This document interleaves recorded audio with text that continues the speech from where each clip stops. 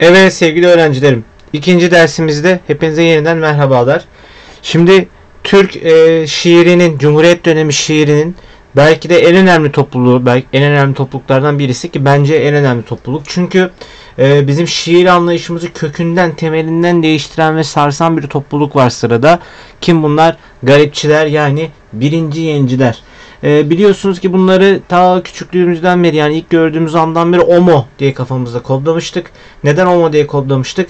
Orhan Veli Kanık'ın O'su, Meriç Cevdet Anday'ın M'si ve Oktay Rifat Horozcu'nun O'su olarak e, bir deterjan e, markasının adıyla aklımızda kalsın diye kodlamıştık. Nedir garip akımı? Neden garipçiler denmiş? İşte bu birinci yeniciler ne, neye yenilik yapmışlar? Nelere karşılar?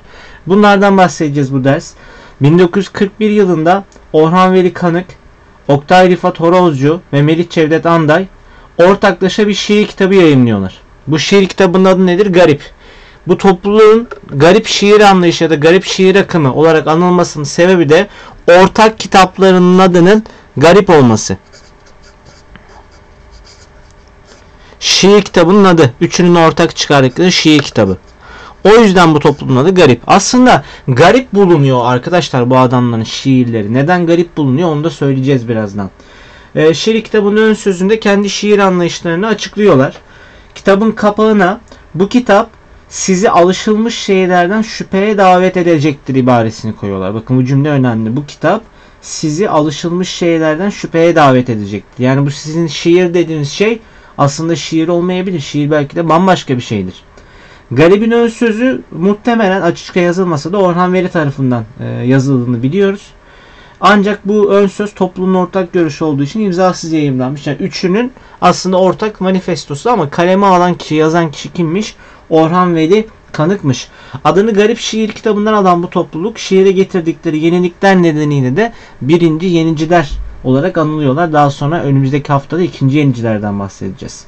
Topluluk öyküleri o güne kadarki şiir geleneğine topyekün baş kaldırıp şiirle ilgili hiçbir e, kuralı e, tanımadıklarını belirtiyor bu topluluk şairleri. Yeni bir şiir anlayışı ortaya koyarak şiirde köklü değişikliklerin öncüsü oluyorlar. Bakın her şeye karşılar. Eski şiir kalıplarına tamamen karşı değerli arkadaşlar. Garipçiler. Şimdi size Orhan Veli Kanık'tan aslında ben bir şiir okuyacağım. Bu şiir hangi şiiri Orhan Veli Kanık'ın? Kitabe-i Sengi Mezar. Yani bu e, kitabe-i sen, sengi mezar. Kitabe nedir? İşte mezarın kitabesi olur değil mi? Mezar taşı olur. E, aslında mezar taşı diye günümüz Türkçesine çevirebileceğim ya da mezar taşının kitabesi diye çevirebileceğimiz bir isim. Bakın isim bize neyi çağrıştırıyor değerli arkadaşlar? Divan edebiyatını çağrıştırıyor farkındaysanız ismi. Bakın nasıl bir şiir bu? Hiçbir şeyden çekmedi dünyada Nasır'dan çektiği kadar. Hatta çirkin yaratıldığından bile o kadar müteessir değildi. Kundurası vurmadığı zamanlarda anmazdı ama Allah'ın adını günahkar da sayılmazdı. Yazık oldu Süleyman Efendi. Bakın efendi. Bakın efendi. Hatırlayın şu Tanzimat romanlarından falan efendi biraz geçmişe ait değil mi? Gelenek. Geleneği çağrıştırıyor. Müteessir olmak falan diyor böyle biraz eski. Bir de bakın şiirde neyle başlamış? Ayak nasırı için. Ayak nasırından muzdarip Süleyman Efendi birisi de başlıyor. Şiirde ayak nasırı bile konu edinebiliyor arkadaşlar bakın. Bu zaten başlı başına bir devrim. Başlı başına bir yenilik. Devam ediyor. Mesele falan değil de öyle. To be or not to be kendisi için. Ha bak orada bir ataya gönderme var. Nereye? To be or not to be. Olmak ya da olmamak. İşte bütün mesele bu değil mi? Shakespeare'e gönderme var. Bir akşam uyudu uyanmayı verdi. Aldılar götürdüler. Yıkandı, namazı kılındı, gömüldü. Duyarlarsa öldüğünü alacaktılar. Haklarını helal ederler elbet. Alacağına gelince alacağı yoktu zaten rahmetlinin. Tüfeğini depoya koydular. Hesabını başkasına verdiler. Artık ne torbasında ekmek kırıntısı ne matarasında dudakların izi. Öyle bir rüzgar ki kendi gitti ismi bile kalmadı yadigar. Yalnız şu beyit kaldı kahve ocağında el yazısıyla. Ölüm Allah'ın emri ayrılık olmasaydı. Bakın to be or not to be modern edebiyat. Ölüm Allah'ın emri ayrılık olmasaydı halk edebiyatı. Şiirde genel olarak zaten divan edebiyatına karşı bir duruş var. Bakın divan edebiyatının cenazesini kaldırdılar ya daha ne olsun burada. Yani bu şiir başlı başına bir devrimdir ve bence garip şiirin anlayışını gayet güzel bir şekilde anlatır Orhan Veli'nin Kitabe-i Sengi Mezar şiiri. Peki hececi, toplumcu gerçekçi, öz şiirci gibi bütün şiir anlayışlarına bir tepki olarak ortaya çıkıyorlar dedik. Özellikleri neler garipçilerin? Bir de onlara bakalım şimdi sizlerle. Şimdi arkadaşlar garip akımın genel özellikleri şunlar. Geleneksel şiire, eski şiire, şiirde kalıplaşmış kurallara, e, ölçü uyak dörtlüğe söz sanatlarına, şiirde duyguya ve anlaşılmazlığa, imgeye, kapalı söyleyişe, her şeye kısacası karşı çıktılar. Her şeye. Bakın geleneksel şiire karşılar. Eski şiire karşılar. Divan edebiyatına, halk şiirine. Şiirde kalıplaşmış kurallara diyorlar ki şair bir sanatçıdır. Şiir sanattır. Siz sanatı ve sanatçıyı kalıplara sokamazsınız. Sanatçıyı kısıtlayamazsınız. Ama şiirde ölçü, uyak gibi ahenk kusurları bizi kısıtlıyor. Bunların olmaması lazım. Bunlar olmadan da şiir yazılabilir. Millet tabi itiraz ediyor yok yazılamaz falan ama yazıyorlar arkadaşlar. Söz sanatlarına karşı çıkıyorlar. Şiirde duyguya ve anlaşılmazlığa karşı çıkıyorlar. Diyorlar ki anlaşılmaz şiir mi olur? Herkes anlayabilmeli bu şiirde neden bahsettiğini. İmgeye ve kapalı söyleyişe de karşı çıkıyorlar gene. Bakın imgeye ve kapalı söyleyişe de karşı çıkıyorlar. Burada biraz artık e, bu parnasizmler, sembolizmler falan olmuş, ölmüş. Artık diyor ki biz sürrealistiz.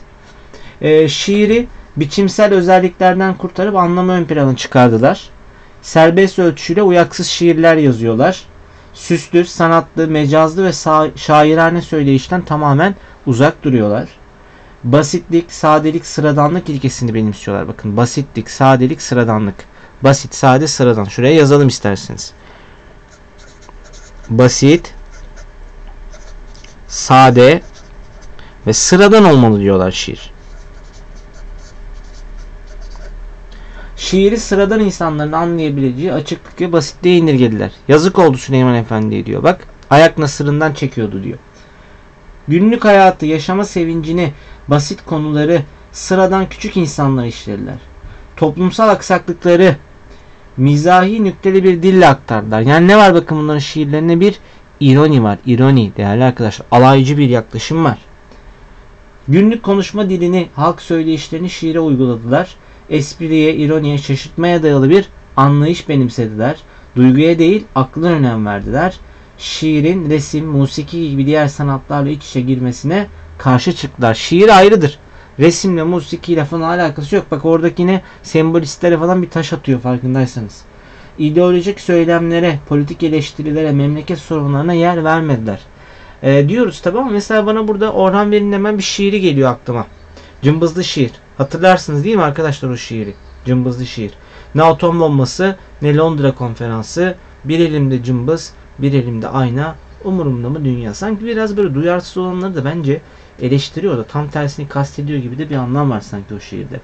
Sürrealizm ve dadaizm akımlarından etkileniyorlar. Bakın sürrealizm ve dadaizm özellikle sürrealizm.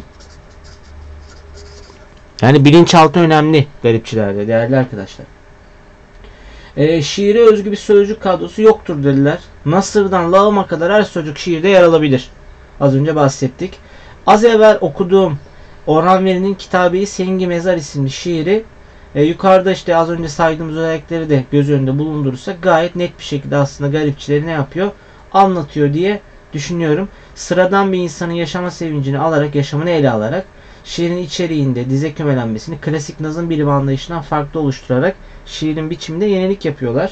Garip şiirinin kişiler dünyasını, konusunu, biçimini, kısaca anlayışını bu şiirde bir arada bulmak mümkün.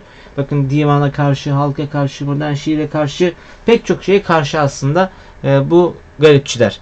Peki sanatçılarımız kimlerdi? Birazdan onlara bahsedeceğiz. Şöyle bir üzerinden geçelim değerli arkadaşlar yeniden. Ee, bakın neleri vurguladık? Ölçü, uyak gibi geleneksel şiir ögelerini bırakmışlardır dedik. Şiirde kullanılan her türlü söz ve anlam sanatına karşı çıkıyorlar. Ee, sözcükleri genellikle gerçek anlamlarıyla kullanıyorlar. Nasırdan lağıma kadar her türlü sözcük kullanılabiliyor bunların şiirlerinde. Ne demiştik? Bakın basit, sade ve sıradan bir üslup var. Ee, şiirin duygudan çok akla dayanması, şairanelikten uzak, her şeye karşı, değil mi? Ee, gerektiğini belirtiyorlar. Şiirin bağını resim, müzik gibi diğer sanat dallarından koparıyorlar. Şiiri ayrı bir yere alıyorlar. Şiirin özel bir dili yok diyorlar. E, çoğunun tadına varabileceği bir anlamı yeğliyorlar. İnsana dair her şey şiirde işlenebilir. Hayat güzel ve yaşamaya değer onlara göre. Özellikle Orhan Veli değil mi? Hava bedava, su bedava. Üstü kapalı bir yergiyle toplumsal sorunlara değiniyorlar. Bakın gülmece, şaşırtmaca ve ironi, alay bunların şiirlerinde ön plana çıkan bir yaklaşım. Özellikle eski şiire karşı alaycı bir yaklaşım var. Geleneksel şiirin benimsediği her şeye karşı çıkıyorlar. Kimler? Garipçiler. Yani e, geleneksel şairlere göre, geleneksel şiirle uğraşanlara göre o zaman bu adamlar garip adamlar değerli arkadaşlar. Peki sanatçılarımız kimlerdi? Orhan Veli Kanık dedik, Melih Cevdet dedik ve Oktay Rıfat dedik. İlk olarak kimle başlayalım? Garipçilerin belki de en büyük ismiyle, belki de değil öyle aslında. Orhan Veli Kanık'la başlayalım değerli arkadaşlar. Kimdir Orhan Veli Kanık? İstanbul'da doğmuş. Galatasaray Lisesi'nde başlamış öğrenimine. Ankara Erkek Lisesi'nde bitiriyor lise hayatını. Yine İstanbul'a dönüyor. Edebiyat Fakültesi'nde felsefe bölümüne devam ediyor ancak PTT'de Posta Telgraf ve e, Posta Telgraf e, Telefon Teşkilatı'nda çalışmaya başlıyor. Memurluk yapıyor. Değil mi? E, memurluktaki efkaf, değil efkaftaki memuriyetten falan yani fark edersiniz yani şiirlerinde anlatıyor aslında. Hayatından bazı şeyler de var. Melih Cevdet ve Oktay Rıfat da ta çocukluk dönemlerinden beri arkadaşlar. Üç arkadaş lisedeyken yazdıkları şiirleri birbirlerine okuyorlar. Okul kooperatifinin parasıyla Sesimiz isimli bir dergi çıkartıyorlar. E, lise yıllarında öğretmenleri kim? Ahmet Hamdi Tanpınar. Ya bakın yani haftalardan beri anlatıyoruz. Pek çok sanatçının aslında kimlerden etkilendiğini görüyoruz. Hocalarından, öğretmenlerinden etkilendiğini görüyoruz. Geleneksel şiir anlayışına karşı çıkmış ve şiiri biçimsel bağlardan kurtararak ölçüsüz, uyaksız şiirler yazmaya başlamış Orhan Veli Kanık. Şairane söyleyişten, basma kalıp benzetmelerden, söz sanatlarından kaçınmış. Şiiri daha kısa, daha basit bir forma dönüştürmüş, daha kısa bir şekilde dönüştürmüş. Orta sınıf insanının küçük sorunlarını ön plana çıkartıyor. Yine aklınıza kim gelsin hemen? Süleyman Efendi gelsin. Ee, yergi, nükte, mizah, şaşırtmaca dayalı şiirler yazıyor ki zaten garipçilerin genel özelliklerinden belki de en önemlilerinden birisi bu. Şiirlerinde halkın günlük konuşma dilini e, kullanıyor. Akıma adını veren Garip kitabının ön sözünde bakın şiirle ilgili görüşlerini şöyle anlatıyor. Ölçü ve uyağın şiiri yozlaştırdığını, şiirin insanın beş duygusuna değil beynine seslenen bir söz sanatı olduğunu, şiirin toplumun geneline seslenmesi gerektiğini belirtiyor Garip'in ön sözünde. Yeniden vurgulayalım.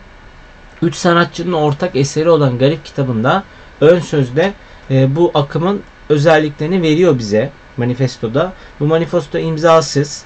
Ancak biliyoruz ki bunu kaleme alan kim? Orhan Veli Kanık arkadaşlar. İstanbul'u dinliyorum gözlerim kapalı değil mi? En bilinen belki de şiiridir Orhan Veli Kanık'ın. Ağlasam sesimi duyar mısınız mısralarımda şiiri? Anlatamıyorum şiiri. Böyle lirik duygusal şiirler. Hani diyorlar ya ölçüsüz uyaksız şiirler mi olurmuş falan. Oluyor işte. Bunlardan daha güzel, daha romantik şiirler var mı? Kitabe-i Sengi Mezar az önce yine okuduk. Orada mesela eski şiirin seçkinci tavrına ironik bir gönderme. Kim olabilir bu Süleyman Efendi? Kanuni mersiyesine bir e, eleştiri olabilir mi? Dalga geçme olabilir mi arkadaşlar? Olabilir değil mi? Sadece padişah olan Süleymanların değil, halkın arasındaki sıradan Süleymanların da arkasından Mersi'ye yazılabilir mesajı veriyor aslında bakın biraz da. Kitabe-i Sengi Mezar'da. 1947'de Yaprak Dergisi'ni çıkartıyor. Bu dönemden sonra gündelik yaşamın ve sokaktaki insanların sorunlarına ağırlık veriyor. İlginç bir özelliği daha vardır değerli arkadaşlar. Ee, Orhan Veli Kanık'ın. La Fontaine'in fabıllarını şiir şeklinde tercüme etmiştir. E, dolayısıyla pek çoğumuz günümüzde aslında e, bu fabılları şiir biçiminde biz kimlerden okuruz? Garipçilerden okuruz. La Fontaine masalları ismiyle bunu zaten kitaplaştırmış çevirilerini. Bir de Nasrettin hocamızın fıkralarını e, mazlum şekle dönüştürmüş. Nasrettin Hoca hikayeleri ismiyle Orhan Veli Kanık. E, yine önemli şiirleri var demiştik. Nelerini bileyim. Mesela benim en sevdiğim Aşk Resmi Geçidi şiiri. Hava bedava su bedava diye başlayan şiiri. Yine Levent Yüksel çok güzel söyler. Geç bunları anam babam geç bunları. Değil mi? Ee, Aha muallayı sandala atıp ruhumda hicranı söyletme hikayesi diye o sözler geçen şiiri çok güzel bir şiirdir Orhan Velikan'ın. Peki şiir kitapları neler Orhan Veli'nin arkadaşlar? Bakın şu sol taraftaki eserler onun şiir kitapları. Garip zaten ortaktı hepsinin. Değil mi? Önemli. Vazgeçemediğim destan gibi yenisi ve karşı bunlar şiir kitaplarının isimleri arkadaşlar Orhan Veli Kanık'ın. İki tane de ilginç eseri var demiştik. Bakın ne demiştik? La Fontaine fabullarını nazım şekle dönüştürüyor. Ee, Nasrettin Hoca hikayelerini şiir şekline nazım şekle dönüştürüyor. Bunlar da Orhan Veli'nin yine önemli özellikleridir, eserleridir. Maalesef çok erken yaşta hayatını kaybediyor arkadaşlar. Daha 40 yaşında, 39-40 yaşında e, talihsiz bir şekilde hayatı sonlanıyor Orhan Veli Kanık'ın ama Türk edebiyatına o kısacık yaşamıyla damga vurmuş. Belki de Türk edebiyatının en büyük şairlerinden bir tanesi Orhan Veli Kanık'tır değerli arkadaşlar. Peki ikinci sanatçımız kim? Değerli arkadaşlar Melih Cevdet Anday. Omo'nun M'si. Şimdi ona bakalım. Kimdir Melih Cevdet Anday? O da İstanbul'da doğmuş. Ankara Gazi Lisesi'ni bitirmiş. Yurt dışında felsefe okumuş. Gazetecilik, memurluk ve öğretmenlik yapmıştır. Ee, çocukluğundan beri kimle arkadaştı? Orhan Veli ve Oktay Rifat'la arkadaştı. Bakın o da Galatasaray şeyde Gazi Lisesi'nde Ankara'da. Lise hayatını sürdürüyor. İstanbullu aynı Orhan Veli gibi. O da aynen Orhan Veli gibi felsefe eğitimi alıyor. Ee, benim biraz daha işte küçük olduğum dönemlerde gazetelerde de yazarlık yazıyordu. Ben de oradan tanımıştım ilk Melih Cevdet Anday'ı. Orhan Veli ve Oktay Rıfat'la birlikte garip akımının kurucularından bir tanesi. Bunu yeniden vurgulamaya gerek yok aslında. İlk şiirlerini garip hareketinin çizgisinde yazmış. Bazen duygulara yer vermiş. Zamanla duyguyu ikinci plana atarak düşünce yolu ağır basan şiirler yazmıştır. Yani e, 1950 yılında Orhan Veli hayatını kaybettikten sonra Melih Cevdet Anday aslında garip hareketinin dışına çıkıyor. Yani garip hareketi Orhan Veli'nin ölümüyle birlikte bitiyor diyebiliriz. 50 yılından sonra Melih Cevdet'in eserlerinde de pek artık e, garipçilerin özellikleri görülmüyor değerli arkadaşlar. E, 1950'de Orhan Veli'nin ölümüyle garip hareketi son bulmuş. Bundan sonraki şiirlerinde duygudan çok aklın egemenliğine ve gelecek güzel günlerin özlemine yer vermiş. 1954'ten sonra toplumsal gerçekçiliğe ve kavgacı şiire yönelmiş. Biraz daha sola yakın bir e, çizgiye doğru yönelmiş. Telgrafhane ve yan yana kitaplarındaki şiirlerde toplumsal ve insani değerleri savunmuştur diyebiliriz. 1960 sonrası şiirlerinde kolları bağlı Odysseus şiirinden başlayarak eski Yunan ve Doğu kültürüne ait mitolojik unsurlara yer veriyor. Ee, bakın mitolojik unsurlar dikkat çekiyor Melih Cevdet'in şiirlerindeki. Neyle beraber? Kolları bağlı Odysseus'la birlikte değerli arkadaşlar. Buna dikkat. Ee, şiirlerinde yalın bir dil tercih etmiş. Ee, düz yazılarında yani nesir türündeki eserlerinde ise yoğun bir düşünce, özlü ama esprili ve şiirsel bir dil kullanmayı yeğlemiş. Gazete yazarlığı da yapan Melih Cevdet'in şiirlerinden başka deneme, tiyatro, roman ve gezi türlerinde de eserleri var. Ee, yine az önce Orhan Veli Kanık için Levent Yüksel'in söylediği bir şarkıdan bahsetmiştik. Geç bunları anam babam şarkısından. Ee, Sezen Aksu'yu hepiniz tanırsınız. Bizim de hemşerimiz değil mi? Sezen Aksu'nun söylediği Ada Vapuru yanından çaktı. Hani Şinanay yavrum hopa Şinanay diye e, nakaratı olan bir şarkı vardır. O Şinanay şiiri de kimin şiiri? O da Melih Cevdet Anday'ın şiiri arkadaşlar. Peki eserleri neler Melih Cevdet Anday'ın? Garip şiiri zaten 3 sanatçının ortak şiiriydi biliyorsunuz. 54'ten sonra e, telgrafhaneyi ve yan yanayı yazıyordu. Buraya yan yanayı da aslında eklemek lazım. Şöyle yazalım. Evet. E, kolları bağlı Odysseus'un önemli olduğunu söylemiştik. E, başka hangi eserleri var? E, Telgrafman iki defa yazmışız. Rahatlık Açan Ağaç isimli eseri var. Göçebe Denizin Üstünde isimli şiir kitabı önemlidir. Yağmurun Altında isimli şiir kitabı önemlidir. Ee, bir de Ölümsüzlük Ardında Gılgamış arkadaşlar. Onu da ekleyelim. O da yine önemli eserlerinden biridir. Ölümsüzlük Ardında Gılgamış. Bakın az önce ne demiştik? 60 sonrası şiirlerinde biraz böyle mitolojiye ve Doğu e, kültürüne yöneliyor demiştik. İşte kolları bağlı Odysseus, ölümsüzlük ardında Gılgamış gibi eserlerde bu dönemde kalem aldığı eserler. Romanları var. Yağmurlu Sokak ödüllü bir romandır. Raziye, e, İsa'nın Güncesi, değil mi? Gizli Emir, Aylaklar isimli. Orada da özellikle Yağmurlu Sokağı'nı bilmeliyiz diye düşünüyorum arkadaşlar. O da önemli bir romandır. E, tiyatroları daha önemli belki de. Onu Cumhuriyet dönemi tiyatrosunda özellikle vurgulayacağız. Hangi eserini? E, Mikado'nun çöpleri. O çıkabilir karşınıza değerli arkadaşlar. E, aylakları aynı zamanda tiyatro olarak da e, uyarlıyor. E, Gezi eseri var. Buraya almadım ama ismini bilelim. Sovyet Rusya, Azerbaycan, Bulgaristan ve Özbekistan yani o dönemki Sovyet ülkelerine, Türk Cumhuriyetlerine gidiyor. e, Sovyetler Birliği o dönemde Türkiye'den bazı aydınları alarak e, şimdiki Türk Cumhuriyetlerine götürür. Bakın aslında hani gayet güzel yaşanıyor burada falan gibi bir mesaj vermeye çalışırdı. O yüzden de bizim sol görüşlü sanatçıların çoğu oralara gidip e, Sovyet propagandasıyla e, gezmişlerdir. Sonra dönüşlerinde de buradaki izlenimlerini anlatmışlardır. Evet, garipçilerin son sanatçısı hangisi arkadaşlar? Orhan Veli Kanığı verdik. Melih Cevdet'i verdik. Şimdi de Oktay Rıfat Horozcu'yu verelim. E, o da Trabzon'da doğmuş. Yine Ankara Erkek Lisesi'nde Ankara, Ankara'dayken yolları kimle kesişiyor? Orhan Veli ve Melih Cevdet de kesişiyor. Ee, diğer ikisi felsefeciydi ama Oktay Rafat hukuk fakültesini bitiriyor. Avukatlık yapıyor. Memurluk yapıyor. Garip akımının temsilcilerinden bir tanesi. Arayışların şairi diyebiliyoruz biz. Oktay Rıfat Orozcu'yu. Hemen her şey kitabında farklı nitelikler göstermiştir. Şöyle arayışların şairi diye de isterseniz ekleyelim.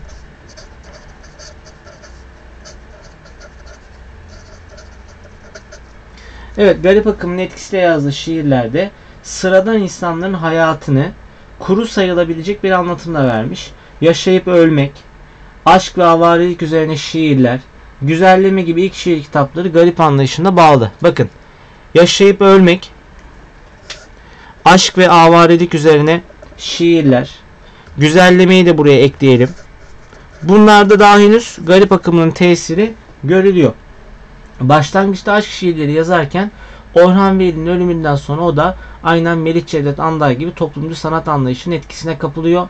Garip akımından uzaklaşıyor. Halk masalları, deyim ve tekerlemelerden yararlanarak sosyal temalı şiirler kaleme alıyor. Taşlamalar kaleme alıyor. Çobanıl şiirler, aşağı yukarı, karga ile tilki, aşk merdiveni, elleri var özgürlüğün. Bakın bunlar önemli eserleridir. Karga ile bir şey dikkatinizi çekmiştir belki. Nedir o dikkatinizi çeken şey?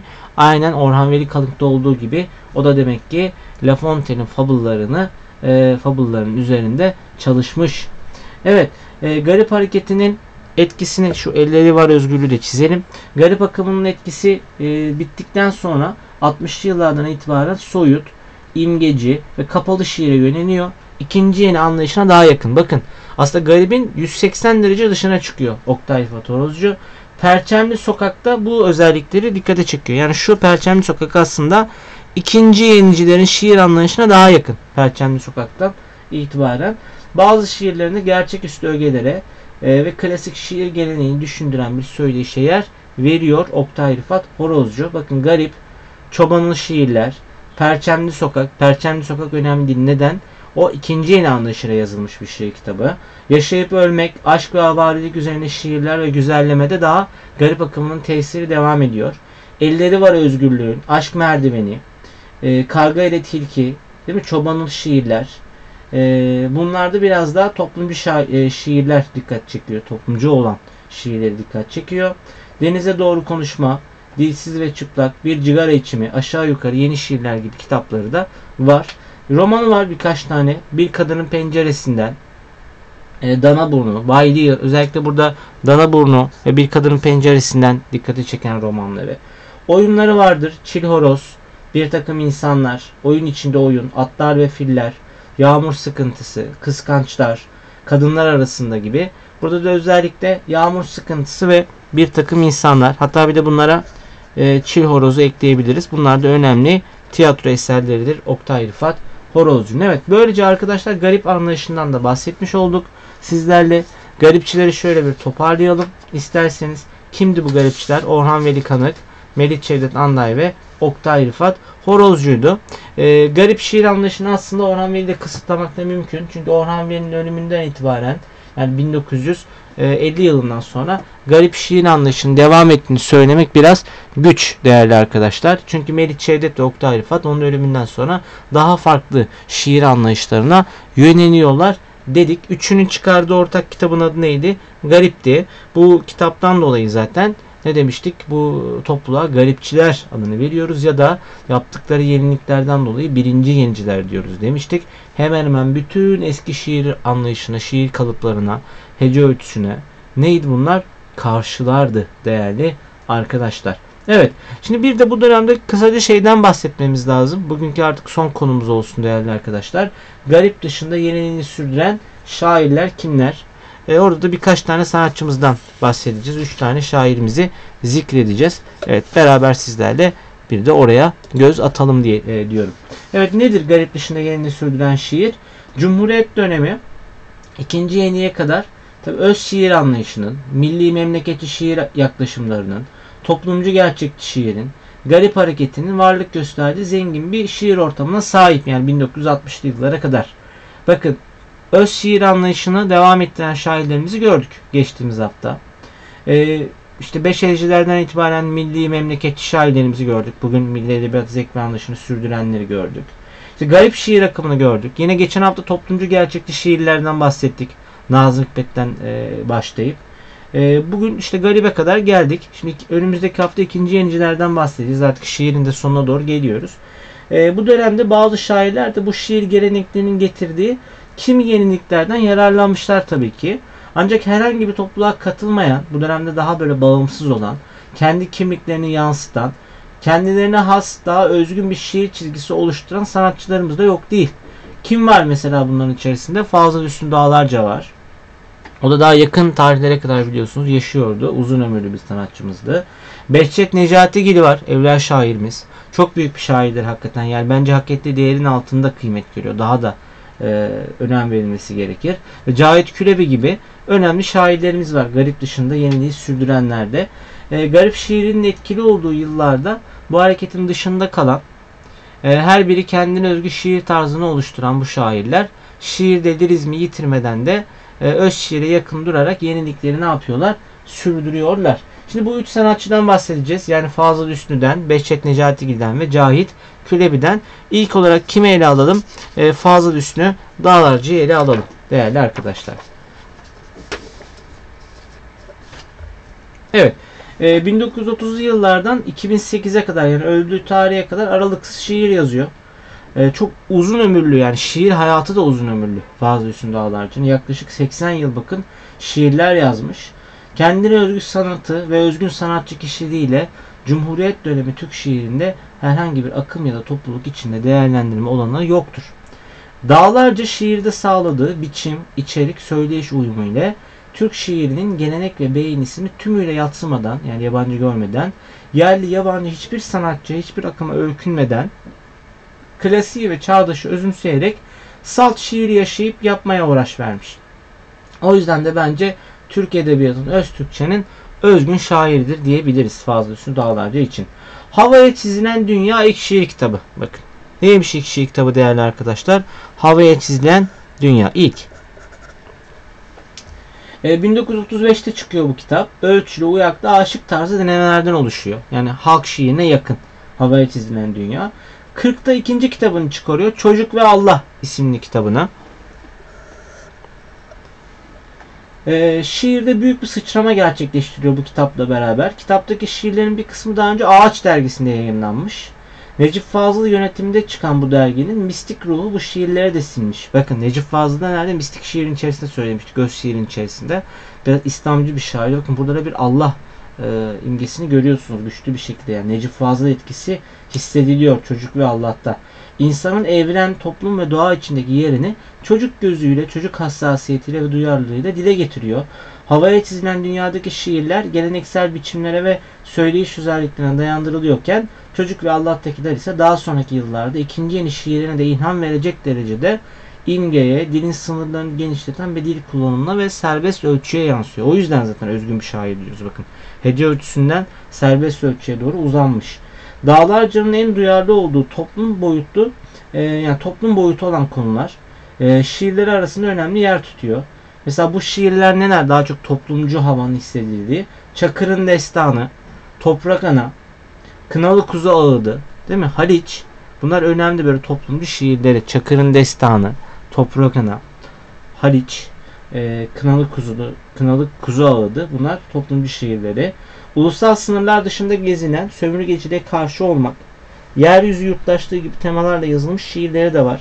Sivaslı Karınca, Batı Acısı, Hiroşima değil mi? İkinci Dünya Savaşı'nda Amerika'nın e, atom bombası attığı o Japon şehri, Cezayir türküsü, Vietnam Savaşımız gibi böyle biraz da artık e, dünya vatandaşlığını oynayan şiirleri de var Fazıl Dağlarca'nın. Genellikle destansı söyleyişlerle oluşturulan Kurtuluş Savaşı gibi ulusal olgularla Atatürk'ü konu alarak övünçlü e, duyarlılığı yansıtan şiirleri de var. Ne bunlar? Malazgirt Ululaması, e, İstanbul Fetih Destanı, Çanakkale Destanı, 19 Mayıs Destanı, Delice Böcek, Üç Şehitler Destanı. Bakın önemli yapay destanlardır aynı zamanda bunlar. Yedi Mehmetler, Gazi Mustafa Kemal Atatürk gibi şiirleri de var. Genellikle destansı söyleşilerle oluşturulmuş dediğim bunlar. Türk Dil Kurumu'nun yönetim kurulu yerinde yapmış. Amacı Türkçe ile evrenselleşmek. Yani Türkçeyi evrensel bir boyuta çıkarmak. Burada sloganvari ve çok güzel bir sözü vardır arkadaşlar. Onu bakın buraya aldım. Dizesi neymiş? Türkçem benim ses bayrağım. Hangi şiirin, şiirindeymiş bu? Türkçe katında yaşamak isimli şiirinde. E, ne demiş? Türkçem benim ses bayrağım demiş. Bu da önemli bir şiiridir. Şimdi yapıtlarından ilk şiir kitabını söyledik. Havaya çizilen dünya. Çocuk ve Allah ikinci kitabı dedik. Burada biraz Necip Fazıl etkisi hissediliyor dedik. Çakır'ın destanı, Üç Şehitler destanı, Toprak Ana, Sivaslı Karınca, İstanbul Fetih destanı, Delice Böcek, Çanakkale destanı, Malazgirt ululaması bunlar önemli eserleriydi. Ee, çocuk şiirleri de var değerli arkadaşlar. Ee, Fazıl Üstün'ün. Ee, ne bunlar? Açıl susam açıl. Bakın bunu bilin. Kuş ayak, yaramaz sözcükler, göz masalı, yeryüzü çocukları gibi çocuklara a, hitaben yazdığı şiirler de vardır. Bir de son olarak size isterseniz şu Türkçe katında yaşamak şiirinden bir kısım okuyayım. Seslenir seni bana olam dağım. Nere gitsem bulur beni arınmış. Bir çağ ki akar ötelere. Bir ak ki yüce atalar. Bir al ki ulu oğullar. Türkçem benim ses bayrağım. Evet dediğim gibi bakın bu sloganı da unutmayalım. Fazıl Üstün'ü duyduğumuz zaman aklımıza Türkçem benim ses bayrağım dizesi gelsin değerli arkadaşlar. Evet sırada evler şairimiz var. Behçet Necatigil.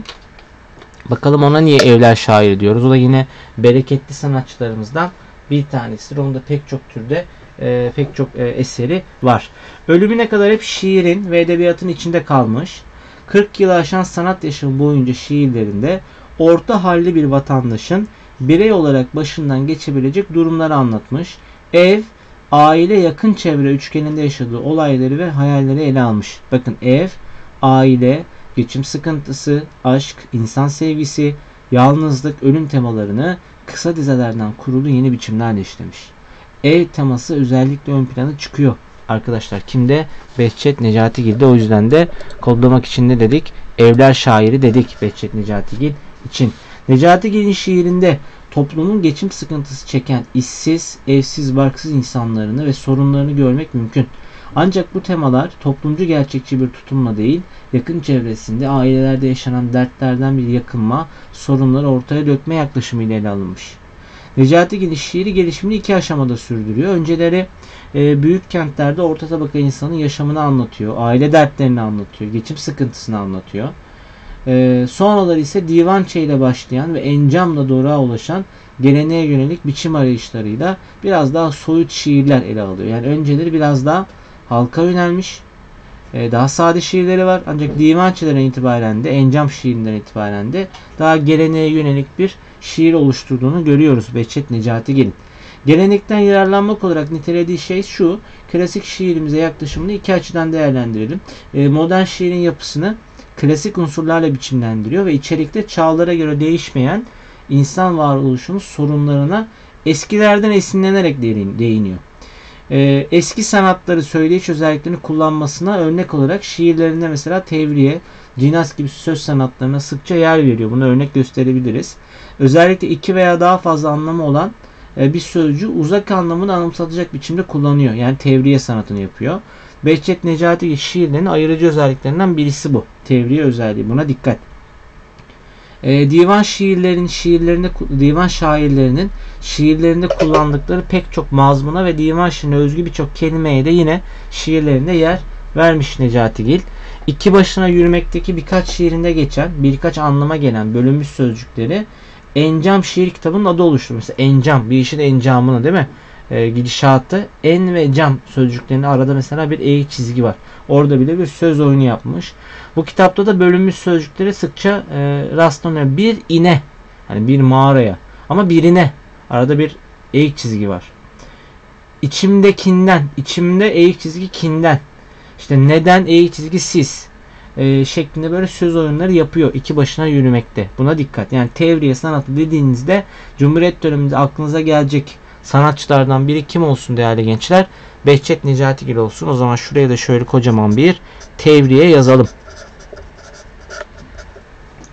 Evet eserleri neler? Önemli eserleri. Şiir kitapları Kapalı Çarşı, Çevre, Evler, değil mi? Dikkat buna.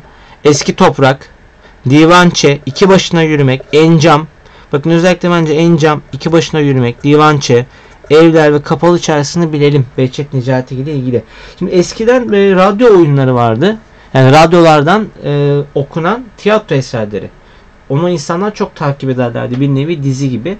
Radyo oyunları da çoktur. Behçet Necatigil'in. Yıldızlara Bakmak, Kadın ve Kedi, Gece Aşevi, Üç Turunçlar ve Pencere gibi radyo oyunları var. İnceleme deneme eserleri var. Benim de sıkça yararlandığım edebiyatımızda isimler sözlüğü, edebiyatımızda eserler sözlüğü bunlar önemli araştırma, inceleme ve edebiyat kitaplarıdır. Bunları da bilelim Behçet Necatigil'in. Evet son sanatçımız değerli arkadaşlar bugün için Cahit Külebi. O da halk şiiri geleneğinden beslenerek özgün bir şiir dünyası kurmuş. Temiz bir dille, içten ve duru bir anlatımla, büyük bir içtenlik ve lirizmle pek çok farklı konuya şiirlerinde yer vermiş. Anadolu'nun gerçeklerini, kırsal kesim insanının duyarlılıklarını, e, sevgiyi, aşkı, ayrılığı, ölümü, doğayı ve özlemi e, dile getirmiş. Ses uyumu, dizelerin yinelenmesi, kafiyeler yani uyaklar, redifler, benzetmeler Cahit Külebi'nin şiirlerinde ona özgü bir e, dil ve şiir e, müziği yaratmış. Şiirlerinde çocukluk ve gençlik yıllarının geçtiği yörelerden izlenimler bulmakta çokça mümkün. Mesela Sivas yollarında şiirinde.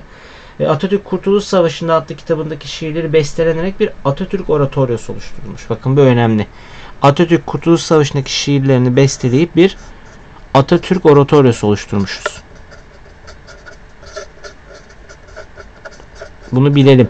Cahit Külebi ile ilgili. Sivas yollarında ve hikaye isimli eserlerini bileceğiz yine.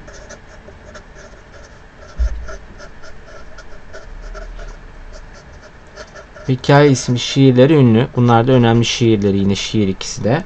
E, adamın biri Yeşeren Otlar, Rüzgar, Atatürk Kurtuluş Savaşı'nda, Süt, Türk Mavisi, Yangın, Güz Türküleri gibi önemli şiir kitapları var. Adamın biri Yeşeren Otlar ve Rüzgar'da çokça çıkar arkadaşlar sınav sorularında karşımıza. Aynı zamanda şiir her zaman içi sevda dolu yolculuklar isimli düz yazı eseri de var. Cahit Külebi'nin. Evet değerli arkadaşlarım bugün sizlerle kimlerden bahsettik? Milli edebiyat zevk ve anlayışını sürdüren şiirden bahsettik. Daha sonra garip şiir anlayışını dile getirdik. Ve garip dışında yeniliğini sürdüren şairleri anlattık.